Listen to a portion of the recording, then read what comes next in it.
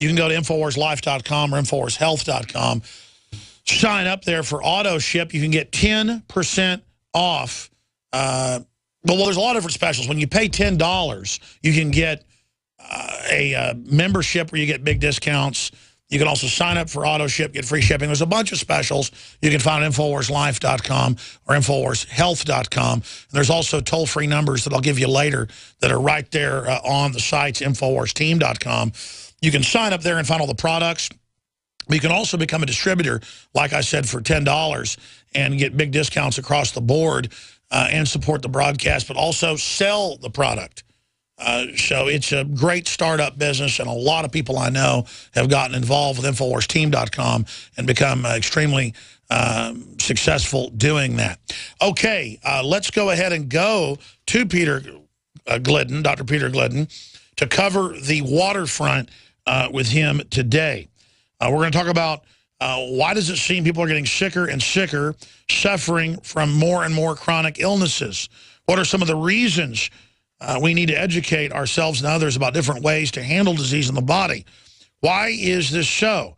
What is the philosophy of MDs, and why don't they believe that the body can fix itself in many cases?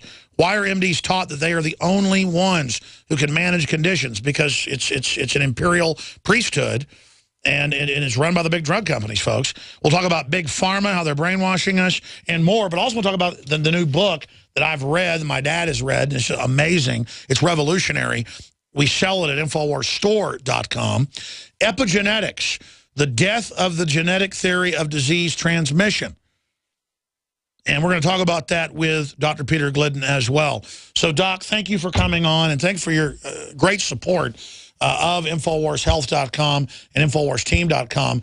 Uh, I know of the whole organization, uh, you are, you know, the strongest uh, overall, uh, you know, generator of new folks coming to the site uh, and working with us. And so without you, uh, many of our new projects uh, wouldn't be successful right now. So thank you so much for your help, not just in revolution of health, uh, but also in helping uh, get the overall news out.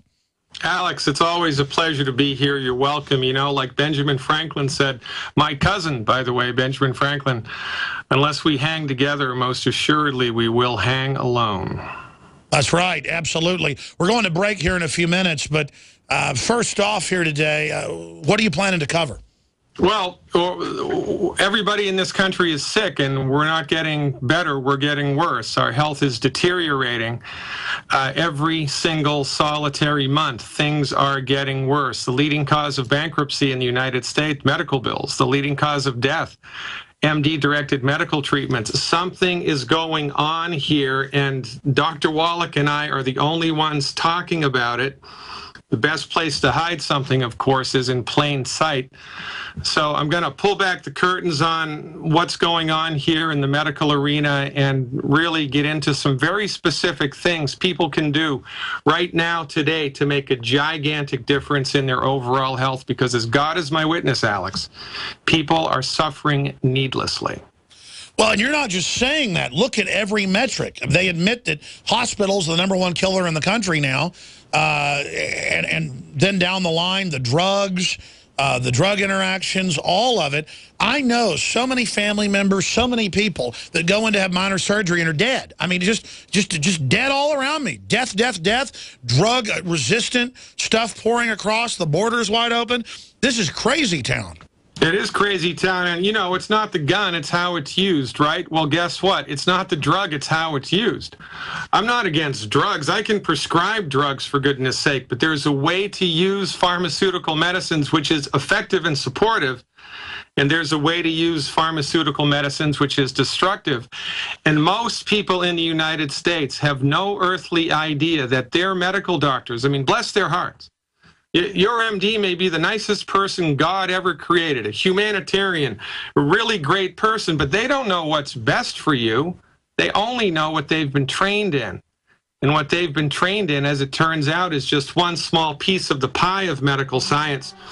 And when people understand how MDs are trained to think about the relationship between the human body and disease, it, it, everything will change when people understand how the MDs think and how they operate.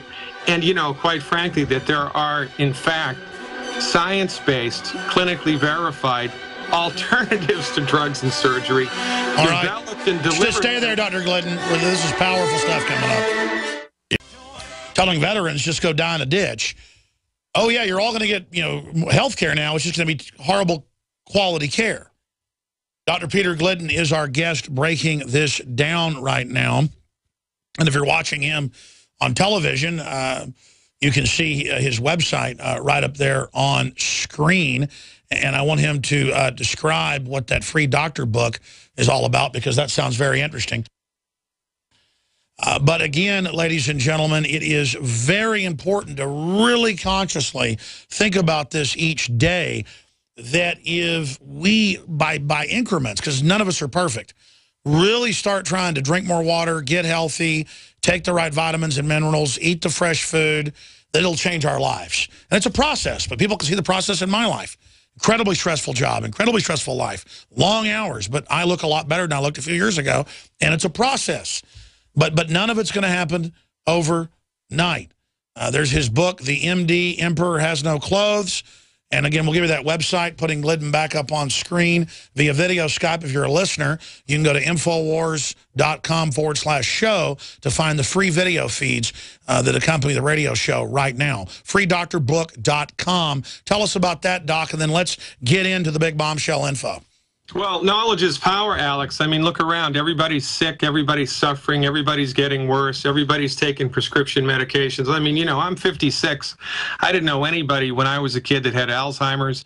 I didn't know anybody that had autism. My, Alzheimer's has risen from obscurity to the, become the sixth leading cause of death. One out of 89 children now are born autistic.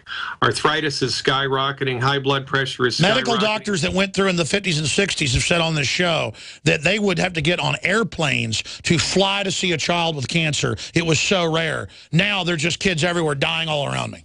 And the reason that this is happening is not because of, you know, uh, excessive radiation and pollution in the world. There are factors that have to do with this. But the reason that most people are sick and suffering is because we've taken the wrong dog to the hunt. I mean, for goodness sake, if you had a, heaven forbid, if you had a bullet in your arm, you would not go to a chiropractor to have that removed because that's not their wheelhouse. It's not the wheelhouse of the chiropractor to do surgery, right? Well, as it turns out, your MD is the wrong person to go to if you're suffering with a chronic disease. The wheelhouse of the MD is trauma care surgery when it's absolutely necessary, and a handful of infectious diseases. That's their wheelhouse. That's what they excel in. And in a perfect world, it would be illegal for them to do anything else because when they bring their philosophy of medicine to bear, on a human body with a chronic disease, they miss the point completely.